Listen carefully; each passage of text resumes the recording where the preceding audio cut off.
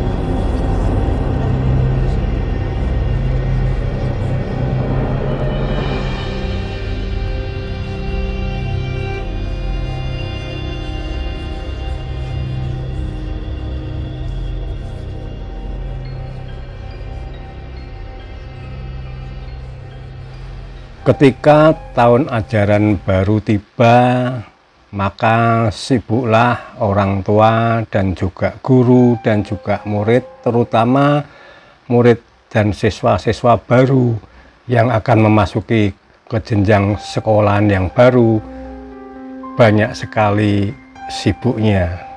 Dan tentunya bagi siswa-siswa baru menjadi pengalaman pertama di sekolahan yang baru mereka.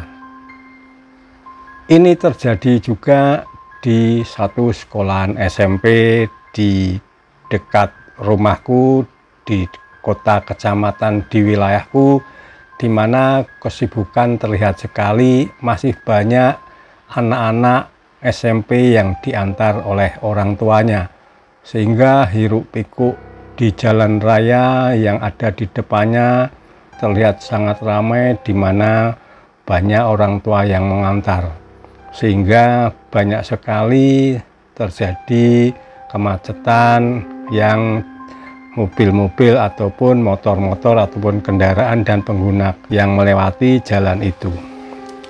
Di sekolahan itu seperti juga di SMP SMP yang lain tentunya untuk para siswa-siswi yang baru diadakan acara-acara yang tentunya berkaitan dengan pengenalan lingkungan, baik di lingkungan sekolahan maupun di lingkungan seputar.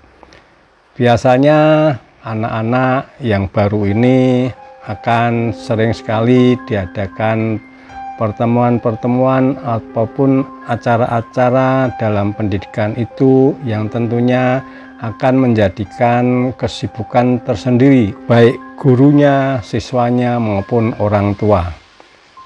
Acara-acara yang disusun untuk anak-anak tersebut tentunya terkait dengan bagaimana anak-anak ini bisa bersosialisasi dengan teman-teman barunya dan juga dengan guru-gurunya sehingga anak-anak akan tahu siapa kepala sekolahnya, siapa wakil kepala sekolahnya, siapa guru-guru di lingkungan di SMP baru itu, dan juga teman-teman barunya.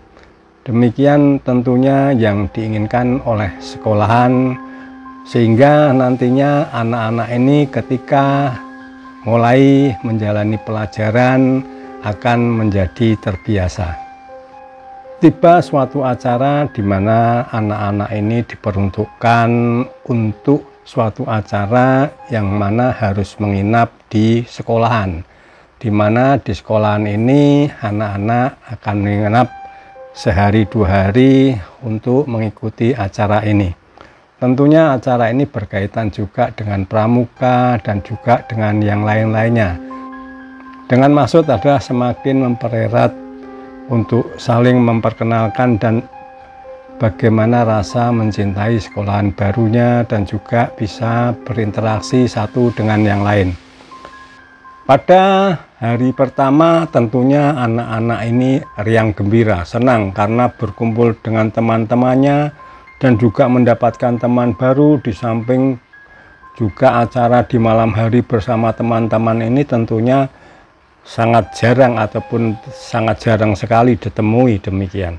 Sehingga begitu riang gembira terlihat suasananya dan juga acara-acara disusun sedemikian rupa oleh para guru pembimbing dan tibalah pada suatu saat mulai ketika menjelang mulai malam ketika mulai maghrib terlihat sekali terjadi keanehan-keanehan yang terjadi pada anak-anak tersebut. Dimulai dengan ketika guru-guru itu untuk memanggil seluruh murid-muridnya dan diberikan pengarahan dan juga dibikin regu-peregu terus diadakan perhitungan ternyata tidak ada satu siswa yang ada di situ temannya mengatakan bahwa tadi barusan saja aku ngomong dengan anak itu katanya Si Ina tidak ada di lokasi, padahal teman-temannya tahu barusan saja si Ina itu ada ketika di tempat itu loh, sambil menunjuk tempatnya. Kembali gurunya suruh menghitung barangkali Inanya diam atau bagaimana. Ternyata sama, kurang satu si Ina. Maka terjadilah suatu pencarian di mana semuanya mencari di mana keberadaan Ina. Kalaupun keluar dari lokasi sekolahan tidak mungkin karena gerbang sekolahan ditutup dan dijaga oleh satpam sekolah. Sehingga tidak mungkin ada yang keluar dari area sekolah. Sedangkan sekolah ini tidak ada pintu lain kecuali gerbang utama yang ada di depan. Tidak mungkin anak-anak apalagi baru lulus SD masuk SMP melewati pagar yang tinggi yang mengelilingi sekolahan. Untuk itu semua mencari. Sampai berapa waktu tidak ditemukan. Semuanya pada bingung dan kembali terjadi kehiruk pikukan di mana beberapa anak ini mulai melihatkan gejala-gejala aneh. Ada yang diam, duduk sendiri, ada yang ngomong sendiri di pojok sana, ada yang kakinya kesat-kesot. Ternyata terjadi hiruk pikuk di mana banyak siswa-siswi yang kesurupan. Dan kebanyakan yang mengalami ini bukan laki-laki tapi justru anak-anak putri. Mereka kesurupan wah seperti itu suasana jadi heboh suasana jadi panik semua guru panik dan bagaimana untuk menjadikan suasana ini kembali tenang. Ada yang meronta-ronta, diapakan tidak mau, diapakan tidak mau, matanya melotot dan banyak sekali sehingga semua guru dan juga pembina semua ini kewalahan, juga anak-anak semua. Maka dikumpulkan yang semuanya yang tidak terkena itu dikumpulkan. Setelah beberapa guru di antara adalah guru agama di sekolah itu dengan doa-doanya akhirnya anak-anak ini kembali normal kembali. Mereka bisa berbicara terus bermain juga dengan teman-temannya namun kelihatan bahwa mereka masih pucat. Di tempat lain di ruang guru di mana ada beberapa guru terjadi sebuah perbincangan. Lah yo lawong biasane mesin arep mulai iki mesti ana bancaan ana donga iki ora ana. Soalnya Pak Gembul itu toh mesti tidak setuju. Demikian kata seorang guru dijawab dengan guru yang lain. Iya iya wis biasane neng kene. Kue inget enggak beberapa waktu yang lalu kamu inget enggak beberapa waktu yang lalu berapa tahun ketika ada juga kepala sekolah yang tidak mengadakan seperti doa atau selamatan dulu sebelum acara ini juga terjadi yang demikian dan kali ini juga terjadi pada kepala sekolah yang menjabat saat ini memang kepala sekolah ini kepala sekolah yang baru. Jadi baru berapa bulan berada di sini dan mengatakan bahwa tidak apa-apa, tidak pakai selamatan, tidak apa-apa. Demikian kata Pak Gembul. Kepala sekolah ini namanya bukan Pak Gembul, namun guru-guru memanggilnya Pak Gembul, walaupun di antara antar temannya. Namun Pak Kepala Sekolah ini tidak tahu kalau dirinya dipanggil Pak Gembul. Kenapa dipanggil Pak Gembul? Karena badannya yang gemuk. Dan juga Kepala Sekolah ini memang galak dan memang benar-benar semua guru takut ataupun tidak takut tapi ya sudah wong namanya kepala sekolah bagaimanapun semua guru harus tunduk demikian malam berlalu kejadian dari kesurupan tadi sudah tidak ada yang kesurupan lagi hingga sampai pagi dan pada pagi harinya di ruang guru terjadi perbincangan antara banyak guru di mana di ruang guru itu berkumpul guru-guru. Di antara beberapa yang diomongkan atau diperbincangkan, akhirnya ada suatu guru yang nyeletuk. Yaitu Buning, coba Buning untuk bilang kepala sekolah untuk bagaimana mengadakan selamatan dulu kalau acara seperti ini seperti sebelum-sebelumnya. Buning ini dikenal oleh teman-temannya jago negosiasi. Jadi Buning ini kalau sudah buntu dari semua teman-temannya, biasanya Buning itu disuruh sama teman-temannya untuk ke ruang kepala sekolah sehingga apa yang tidak disetujui itu untuk bisa disetujui dan biasanya selama ini selalu goal dengan penjelasan yang diberikan oleh Buning itu biasanya goal sehingga terkenal di antara kawan-kawan guru ini Buning ini Buning ini manjur gitu. Seperti itulah katakanlah kalau menghadap ke kepala sekolah untuk satu urusan. Keluar dari pintu kepala sekolah mesti ACC ah aku nggak mau. Demikian kata Buning. Itu bapaknya galak sekali. Maksudnya itu kepala sekolah galak yang penting dicoba Buning demikian tersaut sana sini dari kesepakatan bersama akhirnya Buning pun akhirnya mau dicobanya ke ruang kepala sekolah. Tok, tok, tok, tok. Ya, masuk. Demikian kata kepala sekolah. Ada apa, Bu? Ya, Pak, ini mau matur, ini mau bilang ke Bapak bahwa bagaimana kalau diadakan selamatan seperti kalau ada acara seperti ini yang dahulu-dahulu sebelumnya juga demikian Pak? Pernah kejadian tidak mengadakan terus terjadi hal seperti ini? Bahkan sangat parah sekali di mana banyak murid-murid terutama yang sisi wanita oh itu banyak sekali Pak yang kena kesurupan. Sehingga memanggil orang-orang pintar Pak Kiai dan siapa pun yang ada di luar untuk membantu terkait dengan kesurupan itu Oh ngono, ora iso, ora ono, ora popo. Iki pas wayahe koyo ngono. Demikian kata kepala sekolah. Tidak apa-apa, itu pas saatnya itu saja, nggak apa-apa. Loh Pak, itu tadi kan juga sudah terjadi. Ya sekarang kan sudah tidak. Demikian kepala sekolah. Akhirnya Buning menyerah. Ya sudah Pak, saya hanya mengatakan kepada Bapak, mohon maaf kalau salah dan Buning pamit untuk keluar. Yo, ono silahke. Ya, sana silahkan. Demikian kata kepala sekolah. Kedatangan Buning ditunggu oleh rekan-rekan guru di ruang guru bagaimana hasilnya. Sebelum memasuki pintu sudah banyak ditanyakan oleh guru-guru. Sudah, sudah nanti, nanti di dalam, di dalam. Demikian kata Buning. Akhirnya dijelaskan oleh Buning bahwa kepala sekolah tidak menyetujuinya, tetap berjalan seperti biasa. Seperti itu kata Pak Kepala Sekolah. Semua pada diam. Nyeletuk Pak Rono. Waduh, wah memang alot, memang alot, alot. Sulit, sulit, nggak bisa dikasih tahu oleh orang yang sudah di sini, yang sudah lama di sini. Demikian kata bapak tersebut. Disaut oleh guru-guru yang lain, iya, iya, iya. Demikian terjadi perbincangan yang intinya membahas tentang hal ini dan intinya pembicaraan ini tertuju pada Pak Gembul, Pak Kepala Sekolahnya.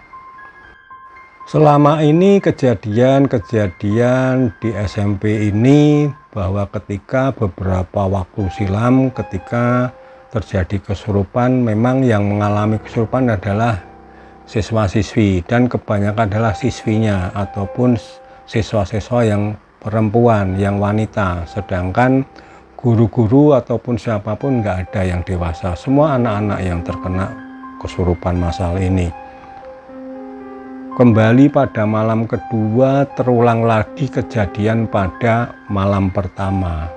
Namun jumlahnya lipat banyak dari hari yang pertama kemarin. Semua guru bingung, semua pembimbing bingung, semuanya bingung. Akhirnya dipanggil juga orang-orang pintar dari luar untuk menenangkan ini semua. Terjadi kepanikan di mana memang sangat parah sekali karena saking banyaknya anak-anak yang mengalami kesurupan. Ada yang melotot-melotot matanya, ada yang ngomong teriak-teriak, ada yang nangis. Banyak macamnya, ragamnya beda-beda. Semua ada yang di sana, yang di sebelah sana, semua hampir semuanya itu ramai.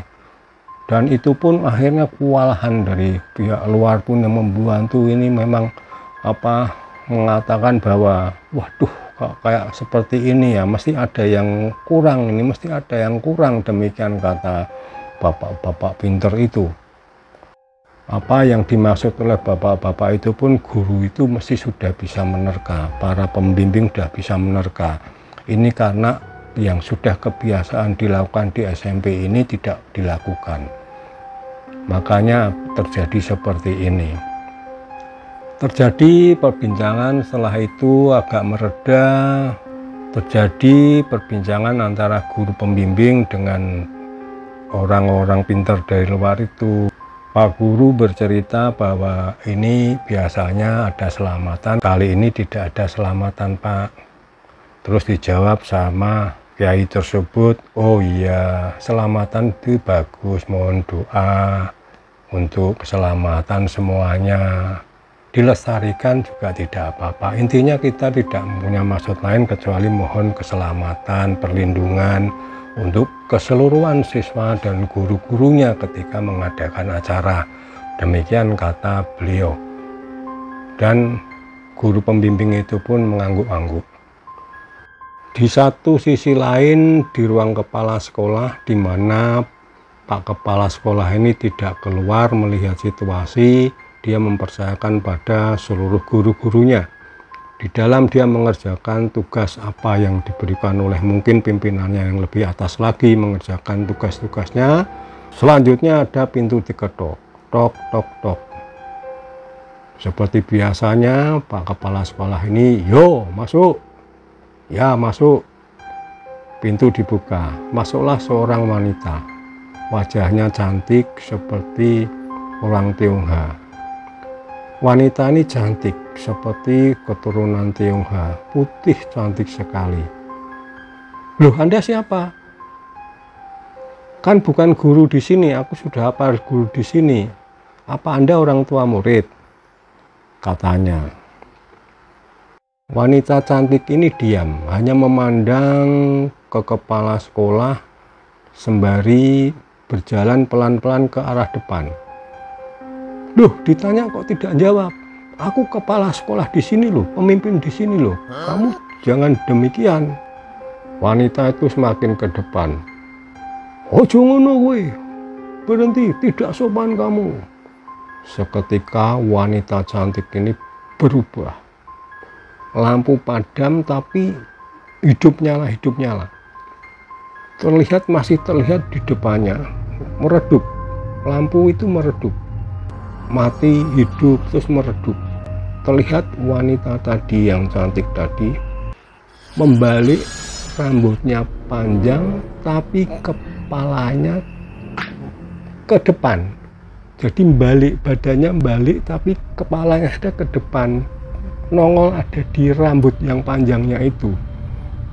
Seketika pak kepala sekolah gerap-gerap ketakutan. Wah wah wah wah hanya nggak bisa bicara apa-apa. Wanita itu ketawa cekikian.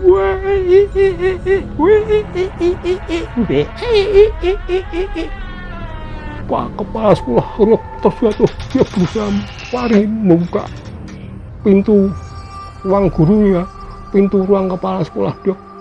Keluar selanjutnya kutepuk jatuh pingsan. Kaget guru-guru ada suara tuh apa itu? Langsung didatangi berkerumun. Guru datang bahkan murid-murid semua.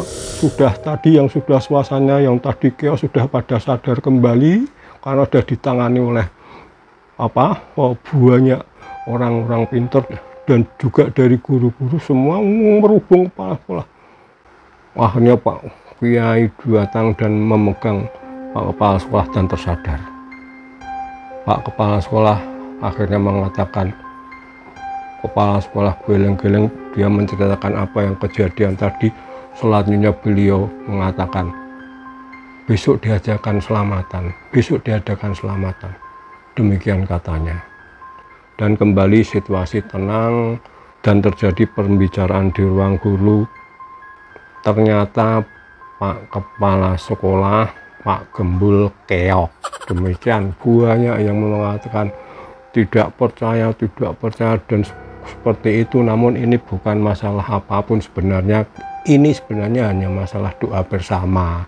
Doa yang bersama-sama untuk keselamatan. Nah sepertinya ini diabaikan oleh Pak Kepala Sekolah yang baru sehingga terjadi lagi hal-hal yang beberapa tahun silam yang hampir sama dengan kepala sekolah yang seperti ini yang di mana sudah membiarkan saja hal-hal yang sudah terbiasa di sekolahan ini.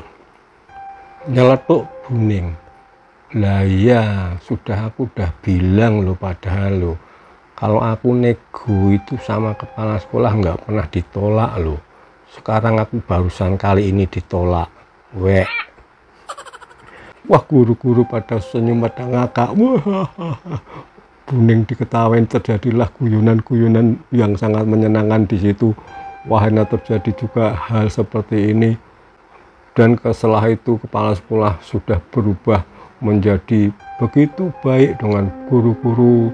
Kegalakannya sudah berubah lagi. Yang dulu galak dan sepertinya paling bisa apa-apa sudah tidak terlihat lagi. Sudah tidak terlihat lagi. Menjadi kepala sekolah yang benar-benar tidak seperti yang ketika awal datang dan guru pun semuanya menyambut dengan sukacita dan siap mengembangkan sekolah ini akan menjadi lebih baik lagi.